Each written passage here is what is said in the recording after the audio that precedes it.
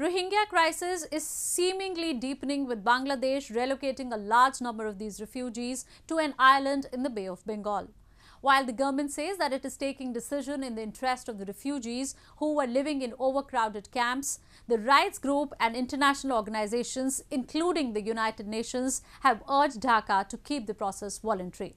The authorities have also been accused of coercing refugees into registering themselves for transportation through one method or another.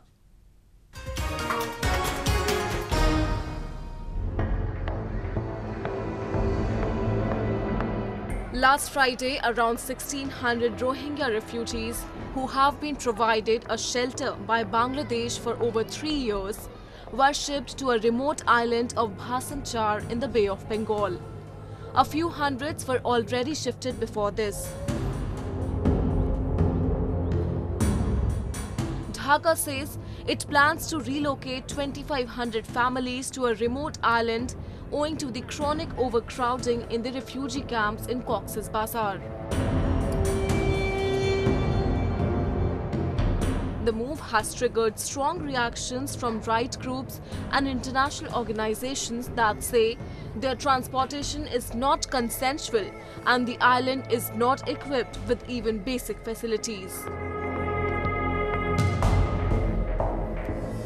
Dhaka has rubbished all charges and said that it has made every possible arrangement on the island.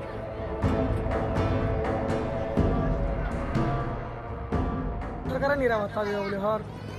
তই থাকা হানা লনা বা সুন্দর পরিবেশ হয়ে আর নিজ আছে।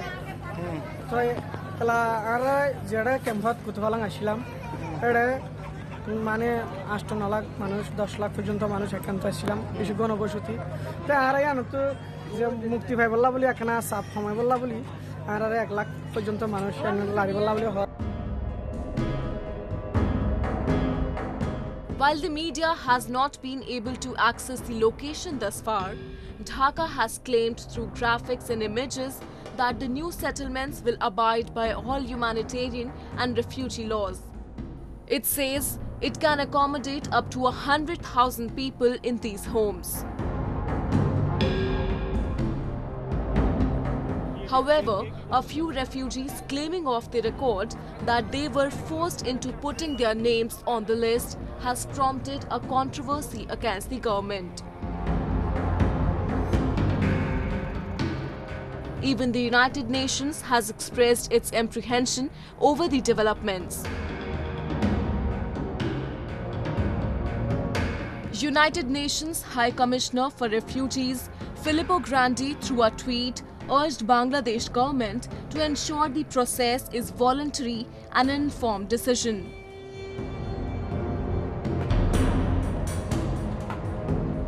The Rohingya crisis erupted in August 2017 following attacks on remote police outposts in western Myanmar by armed groups alleged to belong to the community. Were followed by counterattacks against the Rohingya, which human rights groups, including senior UN officials, have said amounted to ethnic cleansing. In the weeks that followed, over 700,000 Rohingya, the majority of them children, women, and the elderly, fled their homes for safety in Bangladesh. The camps in Bangladesh, which already had 200,000 refugees living, were overwhelmed. Since then, the only roof over these refugees has been the unhygienic, overcrowded, flimsy shelters of Cox's Bazar. Repatriation, even after several attempts, has failed, and most of the people have developed a desperate urge to move out of this confinement. Some say they don't mind risking their relocation to island for it will take them away from monotony and unendurable density of population in the camps.